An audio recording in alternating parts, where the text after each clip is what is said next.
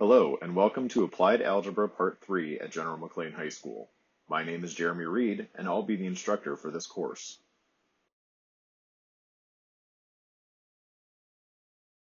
First, allow me to tell you a little about myself. In 2003, I graduated from Penn State Behrend with a Bachelor's of Science degree in Computer Engineering, and in 2008, I received my Master's of Education in Middle and Secondary Instruction from Edinboro University. I have been teaching mathematics and computer science courses for the past 13 years, 12 of which have been at General McLane High School. In my spare time, I enjoy skiing with friends and running obstacle course races.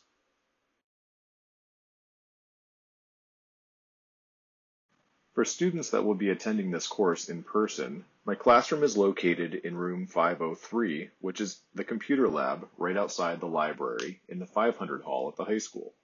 Some students will be attending this course virtually. I can be reached by phone at 814-273-1033, extension 1503.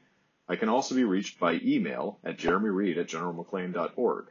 Students are able to reach me by email, Schoology, or Microsoft Teams.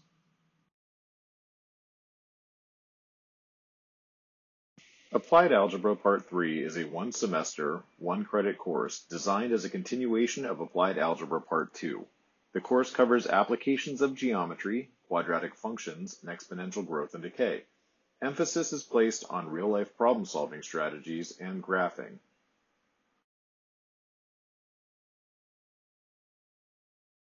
There are four units that we will be covering in Applied Algebra Part 3. They are Applications of Geometry, applications of trigonometry, applications of quadratic functions, and applications of exponential growth and decay.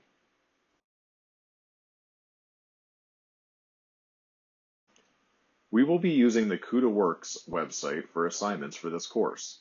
Students will be instructed on how to create an account on their website to access the course materials. Students will also be using their school-issued iPad daily for this course. Some of the apps that they will be using are Schoology, Notability, Pages, and Microsoft Teams. Other apps may be required as the course progresses.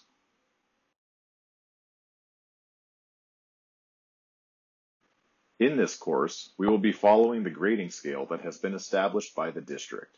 Nine-week grades, as well as final grades for the course, will be determined by taking the total points the student earned and dividing it by the total points possible for the course.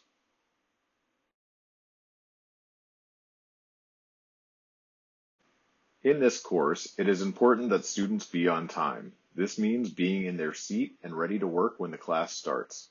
Students need to be prepared for class. They should be completing all of their assignments and bringing all of their materials to class every day. Students need to be responsible for their actions and they need to respect others. Bullying and disrespect will not be tolerated in this course. Students need to be ready to learn and ask questions whenever they are having difficulties. And remember, using apps, videos, or copying from their peers isn't learning, and students found cheating will receive zeros for that portion of work.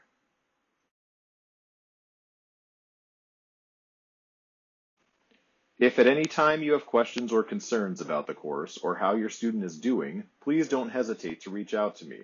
I am looking forward to working with you and your student during the 2020-2021 school year. Have a great day.